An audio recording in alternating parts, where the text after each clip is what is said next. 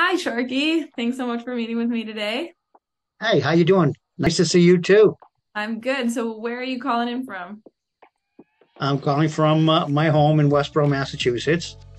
Nice. And uh, that's your territory, right? Yep, uh, Boston uh, West um, is my ma- the main part of my territory, and I do do some work with uh, schools in um, in Rhode Island also. Tell me a little bit about your role and what you enjoy most about being a fundraising coach there. I, I like helping teams raise money uh, for what they need that's not covered by the school's budget. Yeah. What do you consider the best part about your job? What's your favorite part? I like meeting the players and the coaches. Uh, I coach myself during the summer, so uh, this uh, high school level kids. So I know the challenges with them. I know that each player has a a, um, a different comfort level. So I try to teach them a little bit about confidence and uh, you know think outside the their comfort zone. Um, Gold Athletics is a hybrid a hybrid company. A lot of us are working remotely, in person, at home, bopping around territories. Uh, how would you describe the company culture with that? What I like about about this company, it's run like a company. You know, each one of us is loyal to each other. We respect each other, help each other out. We we we're we're a true team. We want the best for everyone. So, how did you get into your role at fund of fundraising at Gold Athletics? Wow. So, long, long time ago, I was. Um, I've been doing this about I think 16 or 17 years. I was very active in a youth uh, baseball board. I'm not on that board, but I still coach in the system. And um, what happened was I got a phone call one day and it started the interview process. Uh, my first interview was about 15 minutes, then moved on to uh, uh, meet with uh, with Steve Ash, who ultimately hired me. And then I met my territory manager. Steve's a great mentor. And I think because of, of what I did in the youth program, um, I've raised a lot of money. You know, I was raising money for youth sports. It was probably the easiest thing I ever did. Yeah, you knew the ropes already. So, yeah. was there anything that you didn't know when you started?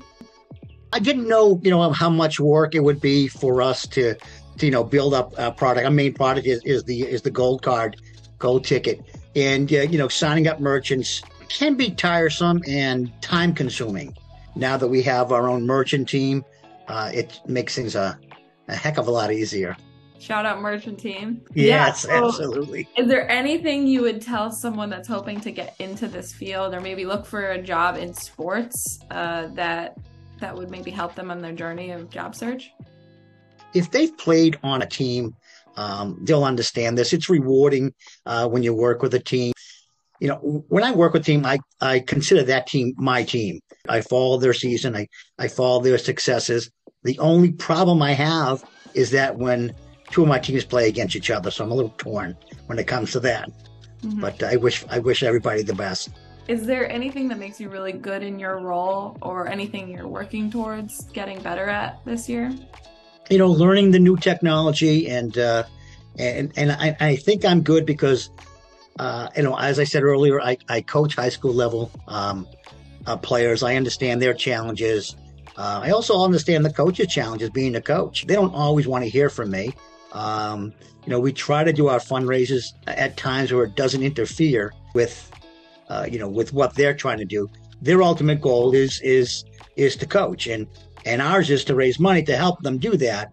So I just try to get the coach. I, I try to get the, get them to realize that, you know, run our program, uh, run it right. We'll be in and out. We make the money he needs to make, and and he's back to coaching. What is changing the most in the fundraising world? The technology has really has really changed. You you lose that face to face interaction. Uh, you know, it's both good and bad. Back in the day when we just had the card, I would uh, I would do my kickoff with the teams, and you can tell some of the kids that might have been a little timid. And I'd take the card and I would just put it in front of my face and say, you know, read the back of the card. ask them for the help and read the back of the card. Um, tell them what's on there and ask them for help. Uh, now it's a little different, but in a way, it's not that bad because, you know, when we're sending out emails or texting, they can pick up the phone and make that phone call.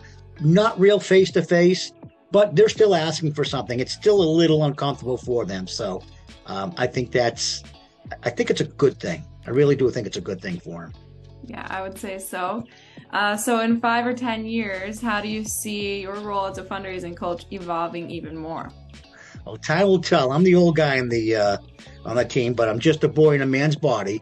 So uh, I want to keep helping programs raise money and instill confidence in the players and the and the and the athletes, student athletes. Um, as long as uh, as long as I can, I enjoy what I do.